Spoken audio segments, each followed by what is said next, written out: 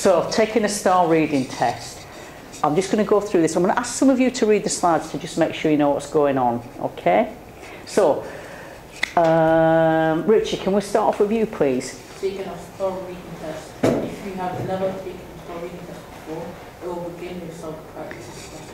And you can see on the screen, it's, it's a bit like multiple choice. So you just read a short sentence and you're going to fill in the missing word.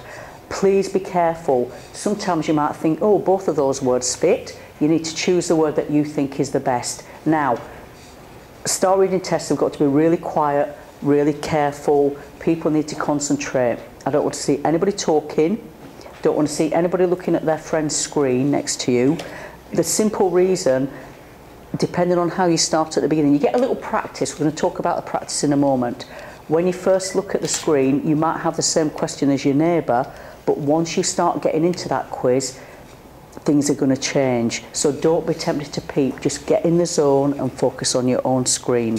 You can pick your answer by clicking on the correct answer with your mouse, pressing the correct number on your keyboard, tapping the answer on your iPad screen. We need to talk to Miss Duncan and get some nice iPads.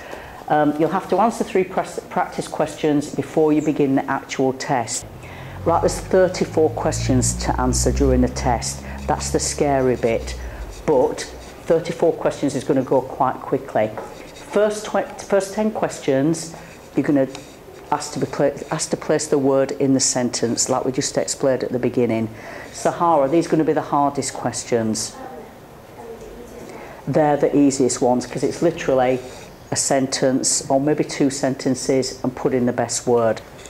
Um, David, can you read that screen for me? Questions 11 to 34.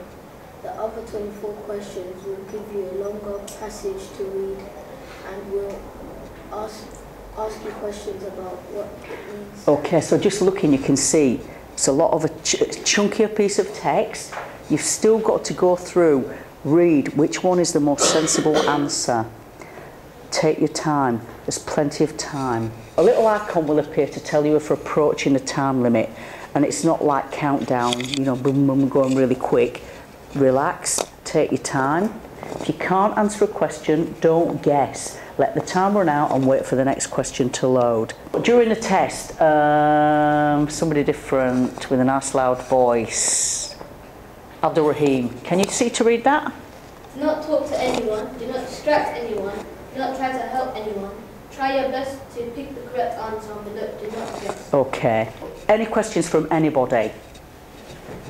Did it tell you how long the test would take usually? What's the, the right amount of time? 20 minutes. 20 minutes. So 20 minutes is average. You can take longer than 20 minutes. You can take 17, 18 minutes. But in my experience, people that rush it and don't take the full 20 minutes, you're not going to get the best results for you. Okay?